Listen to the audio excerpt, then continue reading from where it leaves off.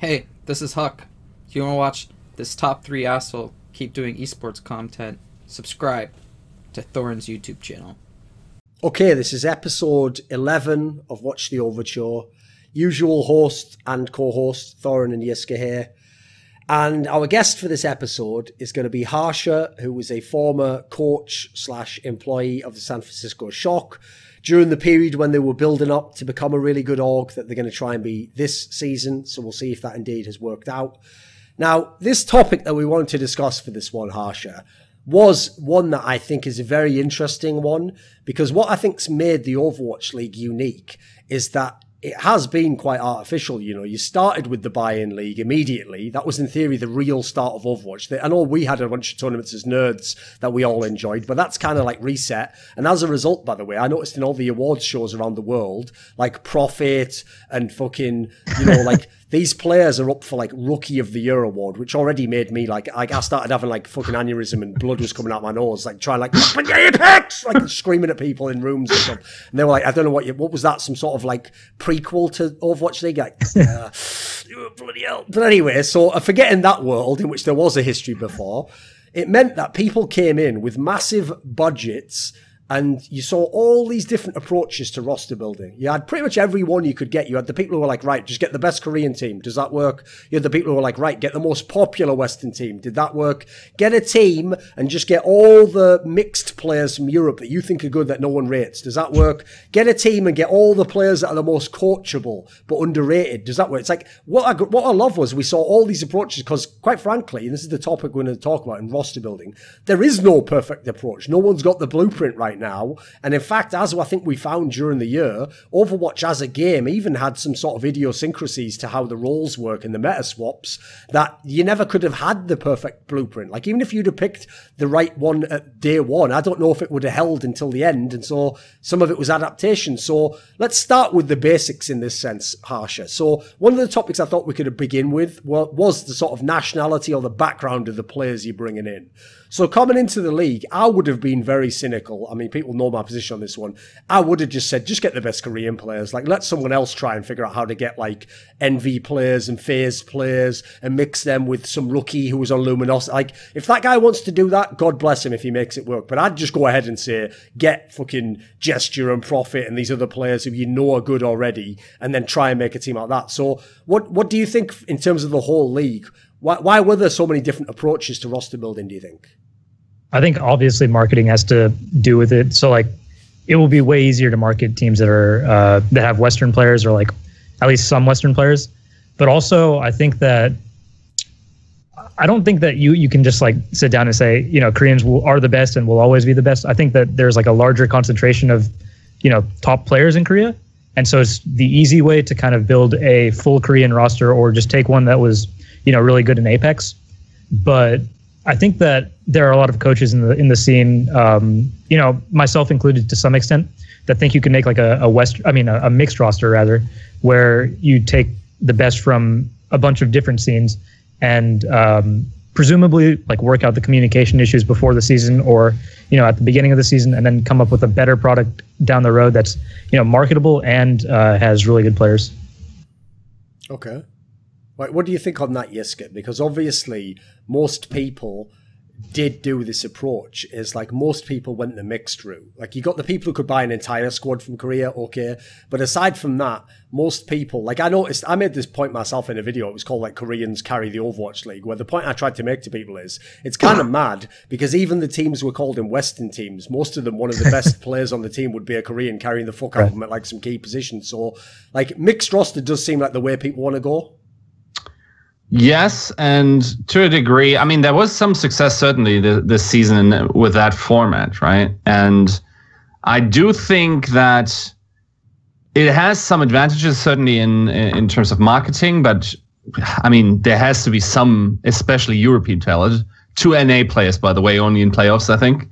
Um, naturally, um, but yeah, generally, it's also a problem a little bit that unless you pick a full Korean roster, I think what we will run into is a problem of re- resupplying these top t- tier talents, right? When you already have like a full Korean roster set up, because it does look like, and also what Wolf said on the last overture, it doesn't look like that well is going to run dry anytime soon. Right. So the adaptation of new talent is going to be much easier in, in, in the future. Now the thing is, the, the problem is, even with the formula, if you have an idea how good your formula was in the first season, now the some components of the formula are entirely being changed. For, instance, like if you're going for a late peak in the season, suddenly that's possible because of these play-in tournaments, right? So you don't necessarily have to be one of the top six teams. It's enough to be the 12th best team, which is not even an average team. It's a slightly below average team. And um, in that way, if you can then just, you know, build your team towards a later peak or even substitute players during the mid-season signing window that that opens so many new possibilities for your team to do well. So i think that the formula is not even like tentatively figured out at this point. I, I think I understand what you mean by building for a later peak, but I think that the game is so like volatile in terms of patching that in order to like in order to kind of build towards that you need to have a certain type of player like you need to have very flexible players Hmm. my idea would basically be i hold my budget back to the mid-season signings Yeah. i look at what the meta will be looking like and I, I mean it's significantly more likely that my season f- uh, stage four meta looks like my stage three meta or like late stage two depending on what the signing window will be. So i have a much better idea what kind of talent i want. There is a possibility that top tier talent is still in for an off off pick hero or something something where then can allocate more resources than other teams that are fighting from with me for these spots. And I get an advantage there even though that might be a little bit of a dodgy um, situation because once again it's at the end of stage two or it, it was. Doesn't necessarily have to be that way by the way for uh, the next season. And even if they just extend it to like mid stage three that is already much more feasible then. Yeah That's also one of the problems I see with like Overwatch because there's no sport that exists like this. In no in no sport are you predicting the meta of the sport, and more importantly, the meta is not going to change during one season. Like in the NBA or the NFL, yeah, if you go over like a five or ten year span, the meta of how like the most successful teams play and succeed and what the captains are, that will change, but it won't change during the one season after you've already set your roster. Like it's not going to suddenly all of a sudden like your style doesn't work at all. But because that's the case, I feel like either we have to ignore that and everyone just build their strongest roster for today and then just ride the fucking the winds of fate. And if fate takes you to the title, you win and you look like a genius. And if it takes you to the bottom, you did your best it wasn't your fault. You got a bad run of the die. Because if you're going to try and actually build your roster to mitigate the the meta changes, you can't do any of the things people have bragged about with the season one rosters. So the two factors everyone kept going on about was that we'll have substitutes so that you can like truly coach the players. So if this player can't do his job, we sub him out and in comes a player who can do his job. Well, if we're trying to mitigate for the meta, we can't have two players who play the same exact role. We're wasting a spot there. So then you've got a scenario where you're going to have to have specialists. If you have specialists, now you're in a world where you don't use them. The best example to me, okay, was Snillo. Because if this Yeah. was a different esport game, the story would be like this: like, wow, they brought in this rookie. He's looking really fucking good. He's doing a great job at his role as obviously like a tracer main. Like, he's looking so sick. What's his future? Well, there's no future. Tracer went out the meta. He went out the team, and he never heard from this guy again. Like, you could have actually believed he wasn't on that team at that point in time. Like, that's how outrageous the swap was. So either you keep him, and he's like a meta sort of insurance. Like, if ever we get like that type of DPS player that we need, he's on our bench, but he's not doing anything in the meantime. Or you have a true player who's going to compete with Carpe, etc., for the Carpe's role, and that's how you're going to keep Carpe at the top. So for me, it's like I don't see how you can, since there's only so many spots, there's only 12 spots on a roster, I don't see how you can make both of those work. And then the other angle is Monte always tried to blow up that storyline of like, because he because he comes from Korean League of Legends where this was the way you practiced. Right. You have a sister team, you practice internally with them on the really important shit. You do some practice with other teams, but in doing so, all of your like secret stuff can never get leaked because your sister team won't leak it. Well, what sister team can you have if all of my subs are like the fucking John Junkrat player and the Tracer player and the Mercy player, and at the moment we're playing where it's like Brigitte and you know what I mean? Like it's like that. There's no sister team there. Like that. That wouldn't even work as an internal scrim. So like I, I'm not saying I have the answer for this because what I'm kind of saying is you got to make a choice. You got to pick which one of those you think is the approach, and I don't actually know what the approach is. I feel like it, it's probably should be a blend of both, but then how do you do both? Yeah, I I think the issue is that like during last season, teams that had the full rosters weren't even consistent with the internal scrim. So like nobody really knows if that actually is a like a good solution. Um, you know, maybe it's helpful at the end of the year for Fusion where, you know, they have one team to scrim, whereas London maybe doesn't have a team to scrim because everybody else is off. But throughout There's the season. also a problem with that as well, mate, which is that the only place it's worked historically is Korea. And I don't know what the Koreans specifically do or, you know, how they make it work. Like, I'm, like it's one of those things where I don't know if a Western team can just copy it unless you knew Yeah. what they were trying to do with it. Cause I'm not sure. Usually, as far as I can tell, some of it's not even like real scrimming. I think it really is like specific setups of like you use them. Basically, you use them as though they were like amazing bots that do exactly what you want in the game to, to test run something as far as I can tell.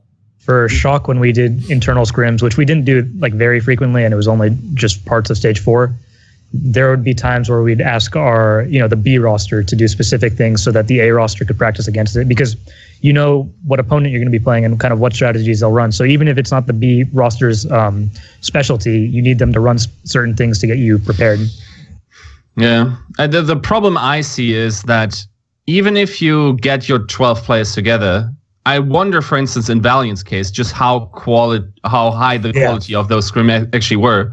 Because, okay, it, it's probably not fair to say this in that way because there were some roster change-ups. But when players from that B team came in and played against the Shanghai Dragons, they were belted out of the arena against them, right? Like, I wonder how good the practice actually can be then against your B team, right?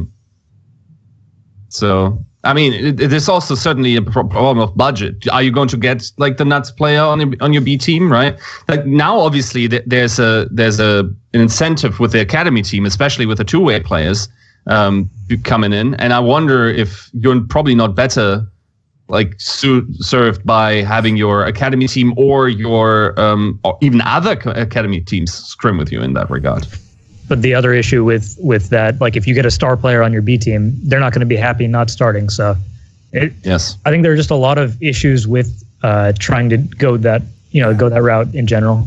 That's also, by the way, a reason why I would suggest it works for Koreans and it doesn't in the West. Like Koreans, uh, like you wouldn't believe if you if you're a League of Legends fan, the number of times you'd hear a story about a player who was like a sub, who's amazing on a top team, and he's not starting, but it's never entering his brain. Like ask for a transfer to some lesser squad. Like in his mind, he first of all he believes all the bullshit of like if I try hard enough, they'll let me in the main team, and then secondly, in his mind, it's like the family environment of like, well, I'm in this team now, so I'm loyal, right? I'm not going to leave this team. So, like, again, uh, with Western players, good luck making that work. I mean, you've even seen actually, this is something we saw in League of Legends is when Koreans go to Western teams, all that culture stuff drops real quick. All of a sudden, they're a star player, and it's like, hey, well, it's time, if I'm going to be in some fucking Western team, I better get all the money and I better get all things my way, you know, and all that like politeness. You have to realize that's like socially enforced. It's like you need a, you need a certain critical mass of Koreans and a coach before that all like takes over at that point in time. Speaking of which, though, another approach people have taken to building rosters, Harsha, is get Korean coaches. Like I think at this Yeah. point in time, almost every team in the league has at least one Korean coach. What do you think on this aspect? Because clearly there's something that Koreans have in all games, as far as I can tell, breaking things down. But we've also seen teams that haven't necessarily benefited from having this. So, just from interacting with them, like I'm not sure what it is that that kind of makes it so that Korean coaches are so um, highly valued, but like I'd say there's a, a clear big three, right? So there's uh, Pavane from NYXL, Crusty from obviously Shock and Boston, and then uh, Moon from Valiant. All three are very different people, yet they're all like very respected by the team. Um, at, at least to some degree, have very good game knowledge, and like they they also all just have like the respect of their their entire team, right? So I don't know really what it is that binds them. Uh, maybe it's just because they um, on I, I don't know. I really want to propose like an idea, but there's there's so different people that like it's hard to kind of suggest anything.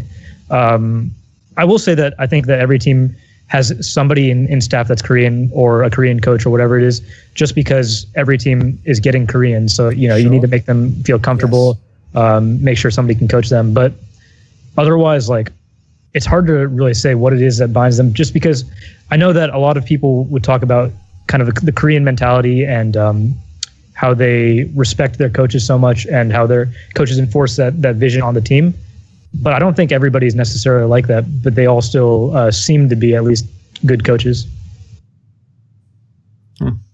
What do you think to the angle? Like Yiska, you know, you have that theory. I forget how you phrased it, where it's like about how the core of a team is built up, and like you can't just instantly make a new one.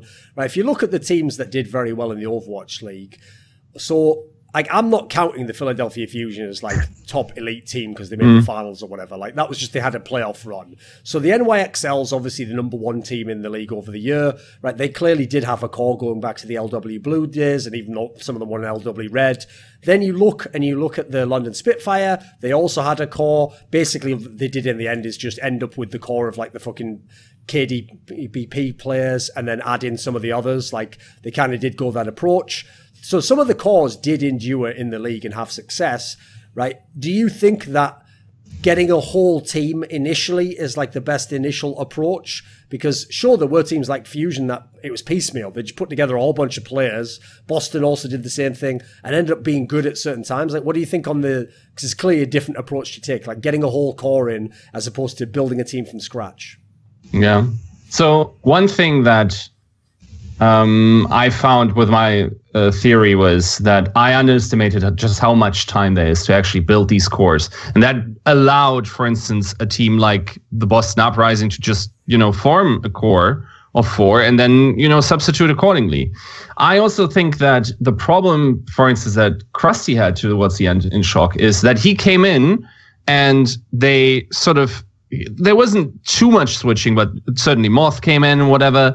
Like these th- that was under the time frame that is usually allocated for building new uh, cores and that's also that explains if if the core is also sort of a way an expression of the coach's mentality in the game then this core started as soon as crusty joined the yeah. team and then naturally that would make them even though we consider crusty a better coach likely than um, than brad that would just make it so that he has a sort of semi reset progress towards building a core four, right? So now, in order to substantiate that theory, I think we would have to look at the next season and if Shock can bring it back up to speed. And I certainly think, for instance, that they picked up a couple of great like pieces that they were missing.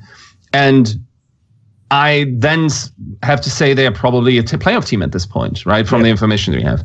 So, um, in terms of just picking up cores, I think there is a certain amount of value in that, unless you are actually a builder of core mentality. If you can actually, if you actually have an idea what kind of Overwatch you want to play, and now the t- season is uh. far out for like four months like you probably have time to rebuild the core. I will say that all of the coaches I, I named earlier that I called the big three have very specific like ideas of how to play Overwatch in mind. So, for instance, Crusty is like a very aggressive coach. Like he likes um, certain roles to take leadership and always wants to be like looking for the next play to be made. Whereas, just my opinion and from what like we saw of NYXL and Valiant, it seems like Moon and Pavane are more structured in the sense that they want to be more like reactive and they um, they feel like more defensive teams.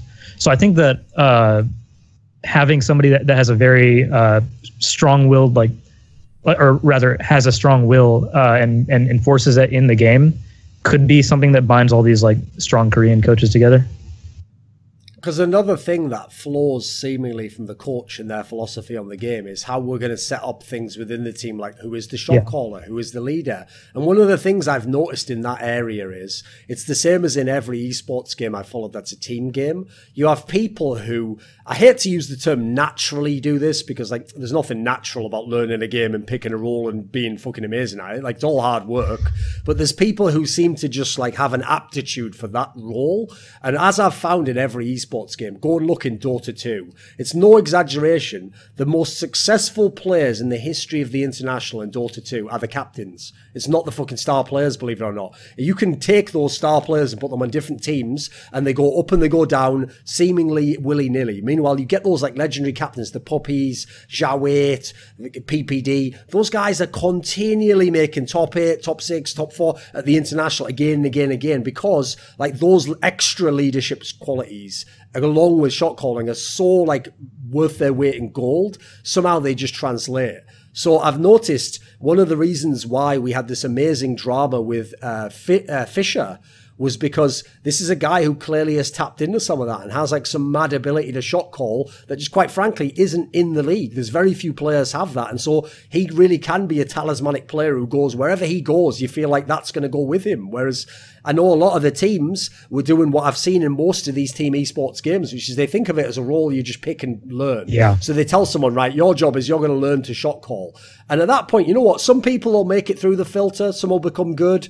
The amount of them that'll become truly great, like the people I'm referencing before, probably very few. And unfortunately, the risk of trying to pick someone and have them come up, so much of your franchise is going to then rest on that guy managing. And so some people aren't going to make it. So, as someone from inside the coaching world, inside the scene, as we've been all learning these lessons in season one, what do you think on this topic? Because I saw a lot of teams use a lot of different approaches in this respect. I would definitely agree, but I'm I, I don't know what what you would call like the right answer necessarily, right? I'm not sure like, there is one. Yeah, I think I think that it depends on the coach, and it you know it can vary for sure. Um, and and you know just to that extent, we saw NYXL being historically strong throughout all of Overwatch League. Like they never looked like a weak team throughout any of the stages, although maybe you could debate they didn't look that great during stage four, but they still Sure. you know they still got second during the stage playoffs, right? And were probably the third best team during that stage.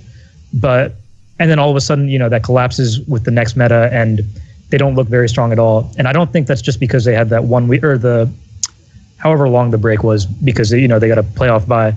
I think that um, during during that playoffs meta, their their structure wasn't necessarily um, best for it, and you saw like looser teams. I think take advantage of that and become the two better teams during uh, playoffs. So I think that um, it it's really hard to kind of describe, but I feel like there is uh, something to be said about having a structure and and making sure that that um, your team flows throughout that, but also being too rigid with it can also come with disadvantages, right?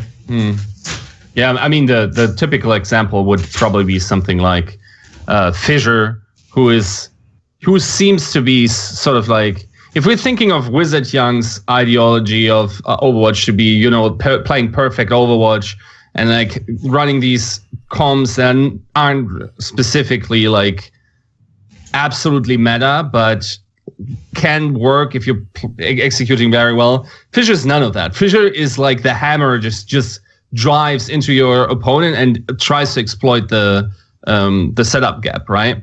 So in in that regard, Fissure, for instance, demanded a lot of resource and whatever. I think, for instance, someone like him would probably not work like with someone like uh, Crusty in that regard. So um, it's certainly interesting how these different approaches led to different types of success over the season. One being, of course, like one has to objectively say that NYXL just had a better approach, a better understanding of uh, Yeah. perfect Overwatch. Um, while Fissure definitely, like, I don't think you can make Gladiators a team better this quickly than the way Fissure did. I think if if you bring in, for instance, WizardHyeong to Gladiators, he then has to learn, or they the players have to learn that playstyle for more than three stages, and it's over. Their, their season's over at that point. I think that there's something to be said about the way, uh, so the role that Fissure plays, right? He's main tank um, and dictates, I think the main tank dict- uh, dictates a lot of the strategy in the sense that you have people like Gesture who play, um, Gesture and Muma who play maybe more passively, but also like they're they're flanking a lot, uh, require less resources in a sense. And Fissure, who you know is jumping from main every time, being a very vocal leader for the team. So I think that if you're looking for a quick fix, I think players like like Fissure are, are actually really good in the sense that they provide leadership and then uh, they make sure that it's very easy to follow for for everybody on the team. Whereas their players, I would I would actually consider Gesture a better player, but he's not he's not a quick fix to a team. He is he's part of like a different system in my opinion. Yeah. I mean, another example, obviously, would be the dreaded Voldemort-esque DreamKazper, because sure that team kept it running for a while after he was gone, yeah, and they and they, I mean, a lot of those wins, sure, were like skin of their teeth type stuff, Yeah. but they never fully recovered from not having a player like that. Because again, not only Yeah. was he a star player, but clearly was like uh, uh, impacted your style and your strengths as a team. So it was almost like a cultural leader in a weird way. It's actually crazy how how unfortunate Boston's situation was because first of all they lose him and he's like the vocal leader of the team, and then right after, so the next stage, um, Tracer's out of the meta and Cr- and Striker has to learn a bunch of different heroes now. So And they then their kind of coach leaves anyway, so the, yeah, true. Yeah. Yeah. that's got to be one of the what ifs. Right. what about this then? So, one of, if we extrapolate forwards, the reason why the whole like bring over a whole roster approach seems so good, and I will say.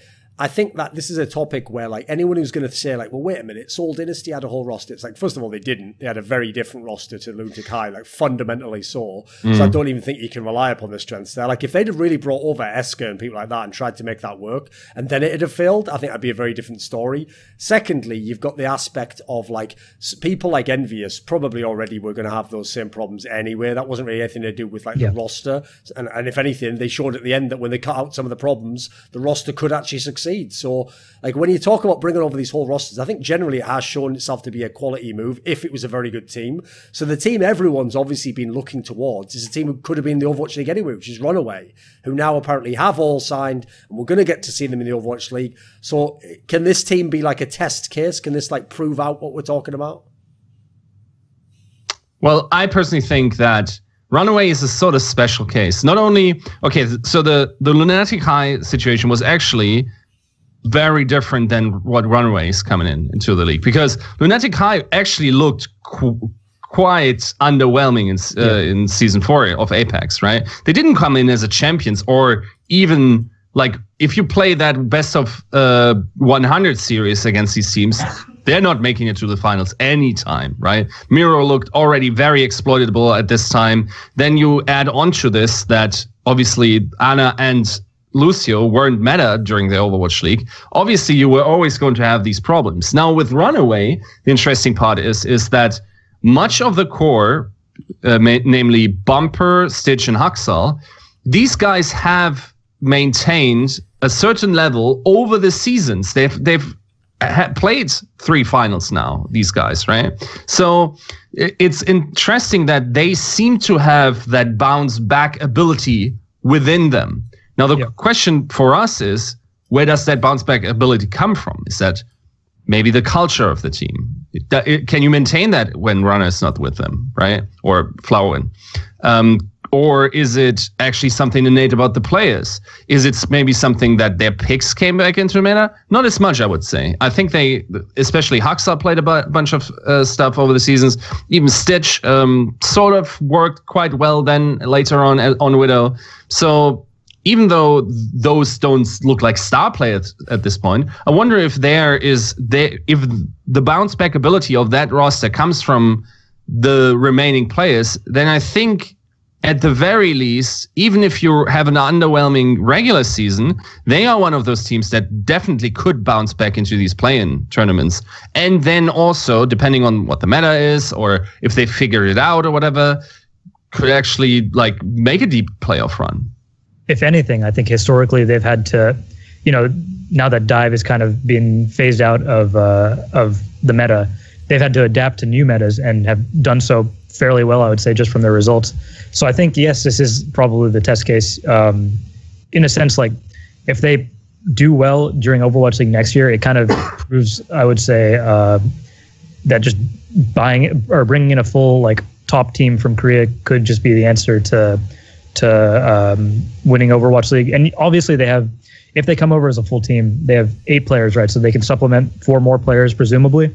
And so we can also kind of test the theory of whether uh, bringing in people that are better for late or like later metas uh, to have like a, a later peak in, in the season if uh, that works as well. So I think it's What about this then? Because I think that leads in, as you said at the end there, to a topic I really wanted to discuss, which is how you use your slots. So you can have 12 players, and obviously you only need six for an Overwatch game. So you can have six people in reserve. Now, if you are a general manager, do you ever want to start the season with all 12 and then try and cut people and replace them? Do you want to start with a certain number and have space to add in because of the meta or a specific sub? What do you think is the, the line on that? I generally don't think you should start with 12 just because so much can happen during a season where, um, you know, potentially a new hero comes out and nobody on the team has the ability to play it. Well, all of a sudden you're kind of screwed, right? So, and th- that's just a, a very um, niche example, I would say. And it's it's being like extra for the sake of it. But I do think that going into the season with all 12 players already picked, well, what if other players develop and all of a sudden you could have had had them and they made the difference for your team uh, in becoming a playoff team, something like that. I think that like it's very short-sighted to go in with 12 because even though you're at the advantage of having internal scrims early on, it seems like the later in the season or like later in the season means more uh, in terms of playoff hopes. So in general, I think that going in with 12 isn't the best idea, and I think that um, it's it's a bit short-sighted in my opinion. Was there actually a player that came in as a specialist in the later stages and actually created value for their team? As a specialist, Mm-hmm. I mean, there was the Snillo one, but that's about it as far Yeah. as I can tell. That's the only one I can think of. I mean, Spree sort of. Uh, I'm trying to think of what trades happened. I mean, I guess Fi- does Fissure count? I guess. Specialist? well, no, no. So Yeah. Yeah.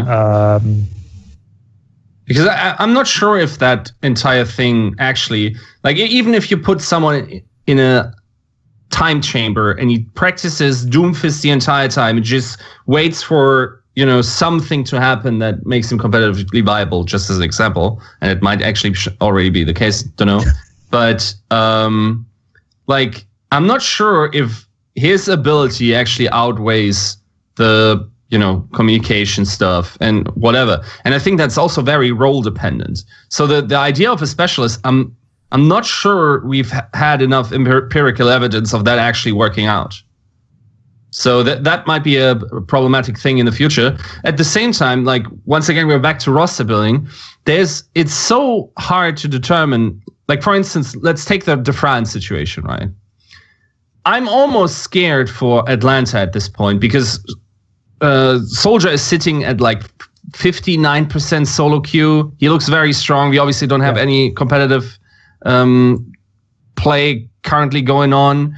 That might actually be the saving grace, but it, because even if he's pretty good at World Cup, I'm not sure if that directly triggers nerfs. But like, if I'm at Atlanta, I have Dafran sign at this moment, who could legitimately be a top three soldier in the world at this point in time, and then he's now a very good hero. I'm scared, man, to that that they nerf him till you know it, it becomes relevant again, right?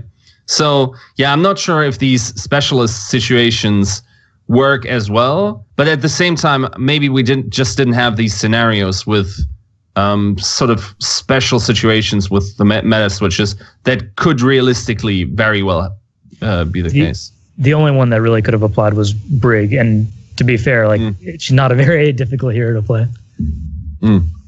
What about this then? How does someone build a roster to try and be successful in multiple different game modes and with an arbitrary map pool whereby if your map just isn't in for this match against that team, good luck. If your map just isn't in this round, good luck. Like another reason that's going to be hard to build a roster is like even if my team's not the best, at least if I have a basis of what we do on this map, I can practice another map as well. Like you know, from every time you reset with the squad, it feels like it's going to be there's going to be a lot of sort of like basic information threshold you have to hit with everyone.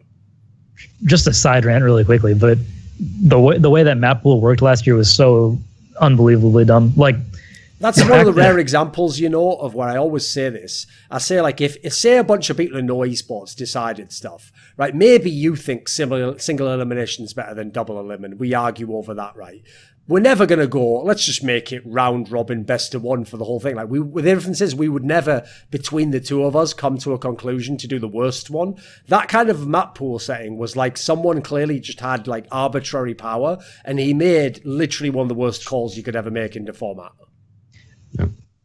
Yeah. But anyway, where are we going with that? And we st- halted the rant there. Yeah. was, no, I think. I th- oh, did you want to continue to rant on the on the maps?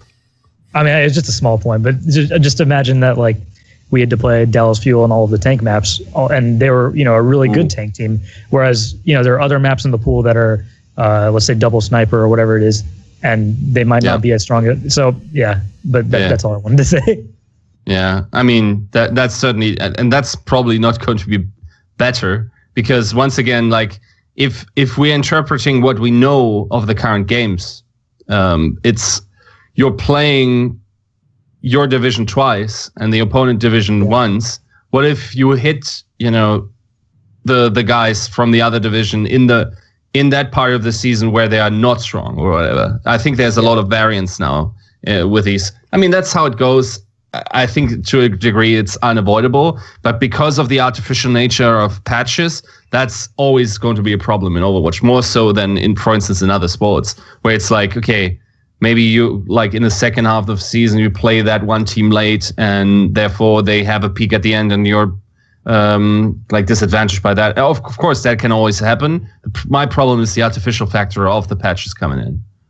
So, but back on the topic of how do you build a team, I honestly think once again we have to sort of refer to our friend Taleb. It's it's like you need to build your roster to be anti-fragile. What that means is basically you need to build your roster in a way where when others shit the bed, you are right there to benefit from that. I don't necessarily even think that if you let's say if you want to be a playoff team in the Overwatch League, I think you need to build in a way where you are not hit by patches as hard as the others. Be that like I don't know what the metrics of that are. Certainly, having a bit of a bigger squad of that could be a thing. Having a lot of redundancy in that regard. Also, strategical approaches. You probably don't want to be, you know, that one dive team that just plays dives the entire time, like Boston, for instance. And once dive doesn't work anymore, okay, you're like in that in that way, Boston's run was actually quite fluky because if you think about it, it for three stages to have dives, quite fortunate for a team like that.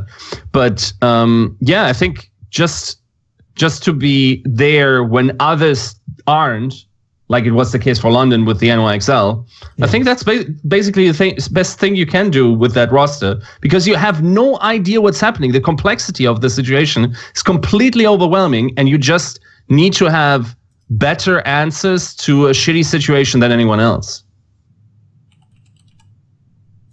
It's hard to to say anything other than that, just because so much is is um, variable throughout Overwatch League that there's no really good answer in in this like in the sense of building a roster. So I just say, you know, follow a system and have something in place, just because you don't want to just pull good players in for no real reason. But otherwise, um, yeah, anti-fragile.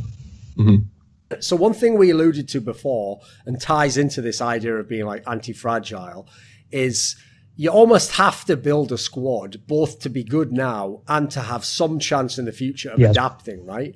And one of the problems that I've already seen in Overwatch is Overwatch was actually being held up as the best example of an esport where you could substitute players because in Counter-Strike, for example, it was often something people used to spitball, which is like, if I really had enough money, why don't I just have like the best team in Counter-Strike, but then also have a sub who plays like the one map that we're not very good at, who makes us like slightly better at that one map, and then we truly would rule the whole scene, you know. We'd have like the whole map pool, we could we could flex against any opponent in the game. Now the real reason why nobody is willing to try that in Counter-Strike is because even though we are featured in the esport game, which arguably has the best system for that, like you play separate tournaments, your results don't stack one on top of the other in terms of an overall season, and more importantly, you get mad playtime for everyone.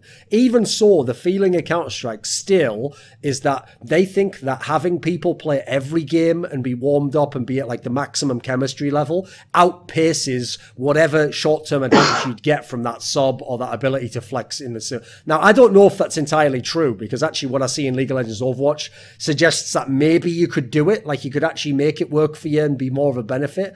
But I can't fault the players. Like there still is something to be said for having that six starting five or six that always has good chemistry, that has been through tough times, that can come back in a game. Like in some ways, I almost feel like that supersedes like the tactical advantage. But I don't know though. Like that's the tough one. It's like, what do you do in that respect? I think part of the problem is that you saw so many teams that had 12 players or you know 10 players 8 players whatever it was that just defaulted to 6 players just because first of all chemi- I think I do think chemistry is like a realistic concern just because um, there's some roles that you don't want to replace at all that might be the ones that in this meta um, so so let's say for example uh, with you know he who must not be named DreamKazper Boston that was never going to sub him out but let's say um, there was a meta where he wasn't as good on on the heroes that Striker and Mistakes were the the two best players at, right? But because the system went through him and he was uh, the kind of in-game leader, why would you ever sub him out, right? Mm. So I do think that a lot of teams ended up defaulting to just using their six players or maybe seven or eight, uh, and just rotating like a specific role. And I think that they probably had stronger results because of that because they got there's there's so limited especially last year when there were two matches a week, there's so limited time to practice in Overwatch. Like, it, you kind of have to make sure that what you're doing, like all the time that you use, is valuable. And so that's why I think that we saw a much more, um, I guess, restrictive system last year. Now, with presumably one match a week or sometimes two matches a week, uh, but you know there are some times where you have one match a week. Maybe there's more time to try out uh, experimentation with like subbing in more players. I think the only team though that we saw really successfully uh, swapping in and out players was NYXL, and even then, it was mostly with their DPS and Ark and Anamo, not really Janus and uh, Mano. Yeah. Yeah. I, I don't I honestly don't know if that can ever be a thing in Overwatch because the the intangibles seem to be so important that and the component of synergy in those intangibles seem to be so huge that it is actually probably very hard to do over a, a sustainable pe- period of time. And you probably just need to reinvent that. Now also like there's always the challenge of how do you split practice time? Um, also like obviously how do you keep the egos in check? For instance i know during the um, winners interview, Jack Etienne said that he probably is never, never going to have a 12 man slot uh, team again, if I recall correctly, right? Simply basically alluding to the fact that if you have legitimately two of the best teams pre Overwatch League in one of your rosters, everyone wants to play, and everyone is probably sort of right in asking to do that, right? Yeah. Because they they are those great talents that would probably start on other teams, right? So it's it's certainly going to be a challenge. At the same time, I'm not sure if that de- debate is decided yet, because, for instance, Valiant sort of I, I don't think they even scrimmed that much um, outside, did they? Did you have a lot of scrim blocks against they, them? Yeah, we had, we scrimmed them a decent amount at least. Okay, so b- because I, I thought they had the facility away from the yeah, but but people just toward so the issue is nobody really wanted to scrim off of land, but then towards the end everybody started scrimming off of land, so mm. it wasn't it wasn't really an issue. Okay, yeah. Because you know that actually is another factor that I think might have made the subbing aspect seem cooler than it was in season one.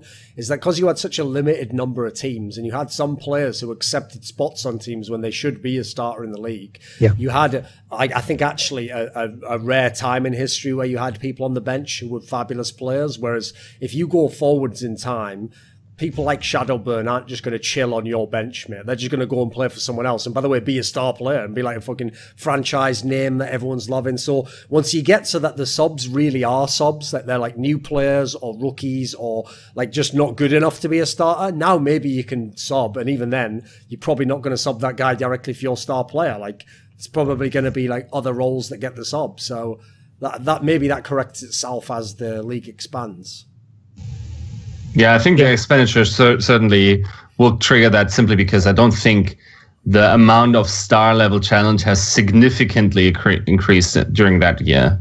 I think there was some there is some uh, star level talent coming in. For instance, a Decay comes to mind. Um, for instance, maybe one underdog pick would be someone like an Ivy. Um, I'm not I'm not sure. A Violet certainly comes to mind, but in general, I don't think it's a ridiculously high percentage that uh, comes into the Overwatch League and has a legitimate claim to be one of the best players. Now, if you drag them over several teams, like all these players will have spot starting spots. I think it's very hard to. Con- if I'm Violet and I want to join an Overwatch League team, I think you will have a very hard time to convince me to join the Spitfire simply because Bdosin is in front of me. Yeah. I'm not convinced that I can get past him. Obviously, it's a baller move if you can, but you're probably not going to be uh, paid as well as he is, or you like other teams will certainly have a bigger paycheck for you ready. Um, it's it's a hard decision for a player to take. I almost also don't think the the idea of having sort of the the skill of the player that starts ahead of you trickle down onto you and you're sort of like gaining experience or just a di- more direct communication way for you to develop the talent. I, I don't think that was true for any of the um, the subs over the season because these star level players don't, simply don't have time for you in that uh, r- rigid uh, structure that we have in the Overwatch League. So I'm not sure. I, I think what it do- will do though is that despite the league increasing, the probably the average level of play will even decrease a little bit, but not as much as one would think it would, simply because t- talent now disseminates over several teams. What do you think, Harsha, of the element of what I, I labeled like the Korean creep, where like not only are there more Koreans coming in, but there will always be this like temptation there when you need a Korean or a player to replace someone. Why not just get the best Korean player not in the league right now, basically, and put him in the squad? So one of the big problems is you definitely can make mis- mixed rosters work. We saw it happen. But yeah. if you have a mixed roster and you need to replace a player, again, why not just make him a Korean if the base of the team's Korean? Like, is this actually a real thing? Like, did do other people? Uh, is it an observation people have made? Is it, is it not going to matter? People are going to stick with pure mixed rosters as they are. What do you think? So it's absolutely like an observation that people have made, just in the sense that, well, I mean, you can kind of see. I think from if you look at the reports, it looks like the the league has gone from like one third Korean to you know one half Korean or whatever it is now, but uh, there is one issue in the sense that if you want a solution mid-season and you're looking for a Korean in a role where communication is highly valued, and you're a mixed roster, well, you don't want to suddenly change your, your team's language to Korean just to to uh, situate one Korean sure. player, right? So unless you're the Outlaws. Well, yeah, but if you look at if you look at it as a long term project, then like certainly you could definitely go for the Korean and then teach him English, or if he has a good level of English already, then he can fit right into the team. But if you're looking for like a quick fix, it's not necessarily a Korean player that will always come to mind. Granted, like somebody like Architect, for example, from Shock, was um, he, he had very little English before and and came in and was like immediately a factor. But I think that that's specifically because of the role he played, and not necessarily just because he was like a top Korean player, if that makes sense. Yeah, that's actually that's actually quite an interesting development that specifically main supports. One wouldn't think that because main supports aren't flashy and whatever. They seem to be commanding actually quite high prices in the yes. current market, simply because some coaches have that mentality of the main support having to do a lot of shot calling. Now, players with the ability to talk both languages, like an Ark, like that that might be the most valuable player in the Overwatch League right now. He's like very experienced, very skilled. We don't know about his Lucio yet, but uh, and possibly other flex picks because we don't know if if they will have to play Zen or Ana over the season. But still, like just the ability to pr- talk quite decent English and then also Korean might be very valuable. And then obviously that you would think, for instance, Decay is one of the most attractive players. I'm not sure. It might actually be Ark in that regard if NYXL yeah. is uh, willing to part with him. He he does seem like potentially there's there's nobody you'd rather get as a main support currently. That's a, that's seems like they aren't going to be on that team or on their team rather uh, than Ark. Like he's definitely one of the the uh, top acquisitions you could land during this offseason just because bilingual, like being bilingual is so valuable. This video was kindly supported by Andreas Snazore Westerlund, Dean Tanglis, Gardner Wilson, Landon Thompson, Nate D.O.G.G., Kyler Harris, Travis Greb, James Harding, Daniel Yordanov, VeXii, Robert Baxter, and a special thanks goes out as always to Jerky's Minion. Do you want to suggest a topic or a guest for my content? Would you like to ask me a question in my monthly AMA? Would you fancy a few teasers for what's coming up in my content? How about taking part in an esports discussion with me? We'll put your money where your mouth is and join the Scrilluminati today at the Patreon link in the description box below.